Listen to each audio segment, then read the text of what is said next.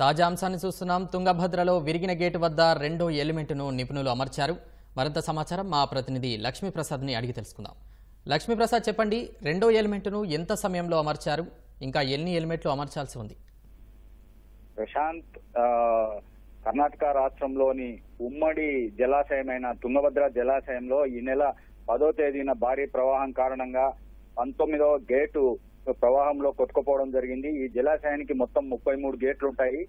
పంతొమ్మిదో గేటు కొట్టుకుపోయిన తర్వాత దాన్ని స్టాప్ లాక్ గేటు ఏర్పాటు చేయడానికి అవకాశం లేదు. ఎందుకంటే ఈ ఈ డ్యామ్ మొత్తాన్ని పంతొమ్మిది వందల యాభై నాలుగులో నిర్మించారు. అప్పట్లో రాతితో ఈ డ్యామ్ను నిర్మించారు. అందువల్ల స్టాప్ లాక్ గేట్ ఏర్పాటు చేయడం ఇబ్బంది. అందువల్ల దీనికి పర్మనెంట్గా ఒక గేట్ ఫిక్స్డ్ గేట్ను ఏర్పాటు చేయాలి. అయితే ఈ ఫిక్స్డ్ గేట్ ఏర్పాటు చేయడానికి ఇది భారీ గేటు. అప్పట్లో అరవై అడుగుల వెడల్పు ఇరవై అడుగుల ఎత్తున్న ఈ గేట్ను అప్పట్లో ఏర్పాటు చేశారు. ఈ గేట్ కొట్టుకుపోవడం వల్ల ఆ గేటు స్థానంలో కొత్తది ఒక టాప్ లాక్ గేట్ లాంటిది ఏర్పాటు చేయడానికి ఐదు అంటే నిపుణుని కన్నయ్య నాయుడు డ్యామ్ గేట్ల నిపుణులు కన్నయ్య నాయుడిని పిలిపించారు. కన్నయ్య నాయుడు ఇచ్చిన డిజైన్ ప్రకారము ఈ భారీ గేట్ను ఐదు భాగాలుగా తీసుకురావాలని ఐదు భాగాలుగా తయారు చేసి అంటే ఐదు ముక్కలు ఈ ఐదు ముక్కలను ఎలిమెంట్స్ అంటారు. ఒక్కో ముక్కను ఎలిమెంట్ అంటారు టెక్నికల్ లాంగ్వేజ్లో ఈ ఎలిమెంట్లను అమర్చితే తప్ప కాదన్నారు. అయితే అక్కడ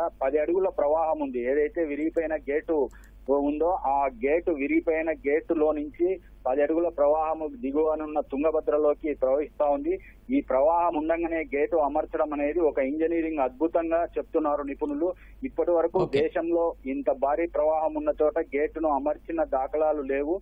అయితే తొలిసారిగా కన్నయ్య ధన్యవాదాలు లక్ష్మీప్రసాద్.